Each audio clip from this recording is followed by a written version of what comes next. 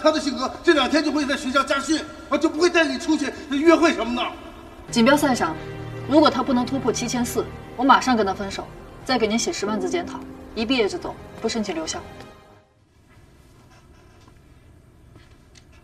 听我说，我知道你担心我谈恋爱会影响我的成绩，对吧？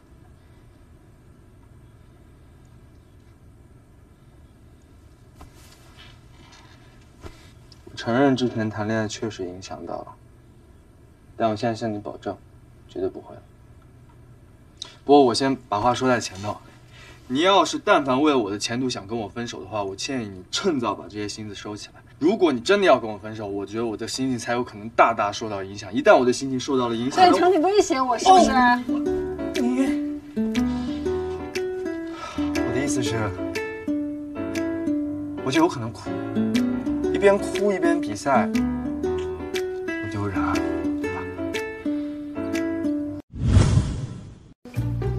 其实你之前来我家的时候，我就已经看出来了，不对。烧烤那次，那小子就不对劲。您这么说，我知道的比您还晚呢。您这么早知道，怎么当时不制止他呢？太可惜了。你还往我身上赖？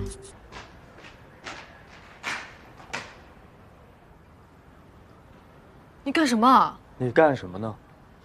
我是不是跟你说过不要单独找他？我问你干什么呢？你比赛中途跑出来了，你居然为了这种鸡毛蒜皮的小事跑出来，这也不是什么鸡毛蒜皮的小事吧？啊，您先别说话行吗？分手，马上分手！分手？为为什么分手啊？你还敢问为什么？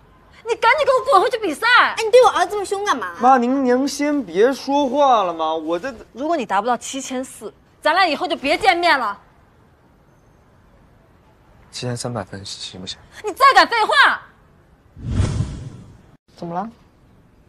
短跑队很危险，短跑队里没好人。别乱说！什么叫乱说呀？李哥、吴泽，还有那个什么张宏文，你呀，也别太担心了。去了国家队就好好拼，混不好也没事儿。我跟吴教练永远都是你的后盾啊！那我能求你件事吗？你说。再给他次机会。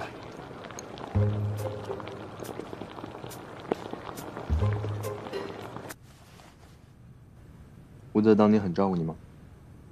嗯。下来。